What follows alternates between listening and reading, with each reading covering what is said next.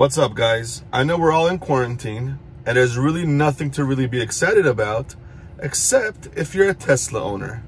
Then maybe, just maybe, you get excited about the updates, like I did. I just got an update, literally like 40 minutes ago, and it updated. And now I'm about to check out what is up with the new update. Let's see what they have in store for us. So it looks like there's a few things that have changed. So what they've done is they've updated the Tesla toy box, the nearby charging stations, and the dash cam improvements. Backgammon improvements. I'm not sure if I've been playing any backgammon, and so let's see what the updates are. So let's go here. Let's go to toy box. They've completely changed the entire thing. So we have different options now. We have the Mars and the Santa and the Sketchpad and whatever. On the left-hand navigation, which is kind of cool. So let's say, for example, if you went to tracks, this is this is a decent update actually.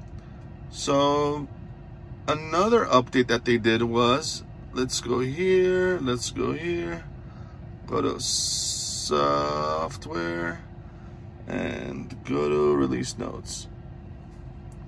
The nearby charging the charging list has been improved. Easily filter the charging sites based on max power. Oh, that's a pretty cool idea, actually.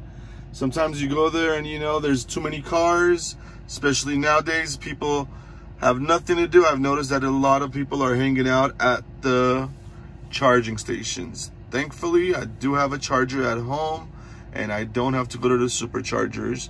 That's an interesting change. Dashcam improvements. Dashcam is now easier to set up. After plugging in a USB tap control safety format USB drive. Okay, so you no longer, I guess, have to go and format the USB. I don't know if you guys have done this, but you have to format the USB on your actual computer, create a folder, and then put it in here. You no longer have to do that. That's a very good improvement. I'm not surprised and I'm actually kind of surprised that they didn't do this initially when they first released the dash cam. Backgammon improvements, play backgammon against your Tesla has now become more difficult. The most difficult level has now been trained with 20 million games. Wow, that is awesome. So what they're saying is that I can't beat them. Guess what? I take that as a challenge.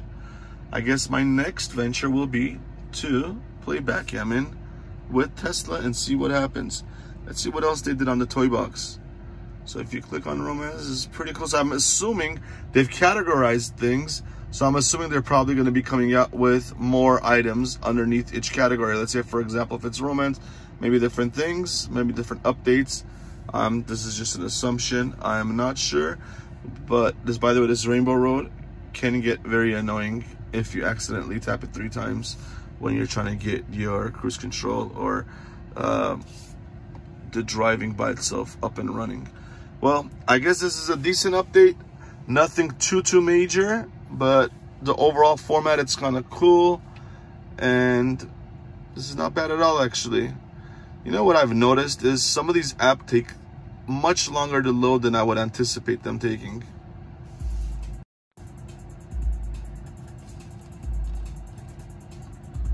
And fantastic. Well, guess what, guys? That was the update with Tesla's Model 3 version 10.2 2016-21. Let's see what they have coming next. Hopefully, I heard there's going to be a Minecraft and a Pokemon Go possibly update, some kind of a virtual playing and driving situation. Interesting stuff. My son loves it, so it'll be a cool update. All right, guys. Keep you guys posted on update.